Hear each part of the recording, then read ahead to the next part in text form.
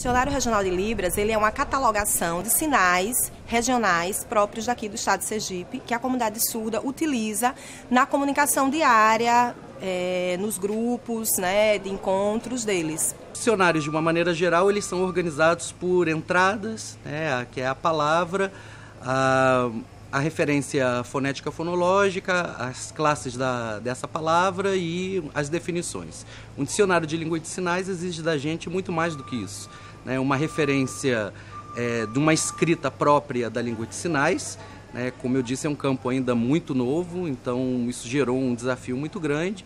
E também a organização de vídeos, porque precisa ser um dicionário que uh, adote o um movimento né, e, a, e as configurações dos sinais como parâmetro para consulta e também para uso no ensino e para a comunidade surda de um modo geral dentro do nosso estado.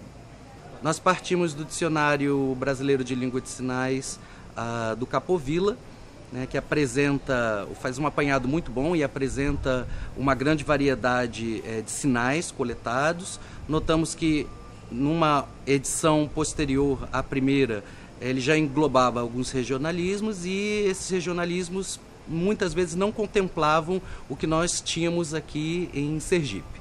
Então a nossa proposta foi ampliar é, esse campo e também contribuir com outros pesquisadores na área de lexicografia de língua de sinais é, para a construção de um dicionário mais completo.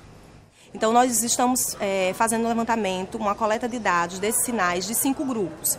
Então, nós temos o grupo das cidades de Sergipe, dos bairros de Aracaju, locais de turismos e, e locais de lazer, é, instituições bancárias e instituições de ensino superior, públicas e privadas. No processo de escrita dos sinais, nós contemplamos e priorizamos fazê-lo pelo sistema SciWrite, porque acreditamos é, que é o sistema mais convencionalizado e melhor aceito nas universidades hoje de ensino. Né? O sistema que é mais ampliamente divulgado no nosso Brasil para escrever a língua de sinais.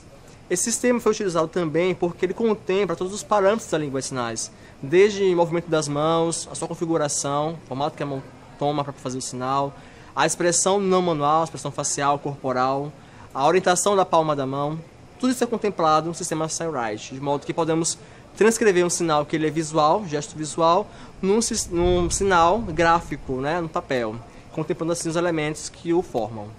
Esse dicionário ele vai, ele está trabalhando basicamente com as variedades da, do falar sergipano e com coisas muito concretas da realidade é, no estado de Sergipe é uma necessidade que a gente sentiu dentro do, das pesquisas em línguas de sinais uh, aqui na Universidade Federal de Sergipe, uh, porque os dicionários, de um modo geral, eles apresentam categorias mais amplas, né, nacionais, e não trabalham basicamente com é, regionalismos. A importância desse projeto, né, da criação desse dicionário, está no fato de nós não termos o registro desses sinais que são criados aqui em Sergipe, que são sinais próprios é, é, é, do Estado e que há necessidade de consulta dos mesmos.